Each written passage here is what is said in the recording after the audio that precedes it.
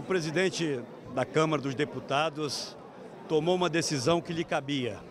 Uma decisão ancorada naquilo que prevê a Constituição. A peça produzida pelos juristas Miguel Reale e Hélio Bicudo é uma peça extremamente consistente. O que existe nesse momento é um sentimento de todos nós da prudência para que esse processo possa ter o seu trâmite adequado e que a própria presidente da República eh, possa ter a oportunidade de apresentar as suas justificativas.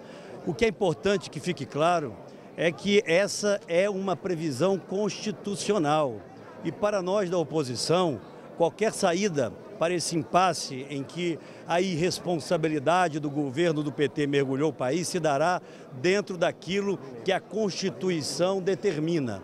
Portanto, nós recebemos essa decisão do presidente da Câmara com absoluta naturalidade. A peça produzida justifica essa decisão.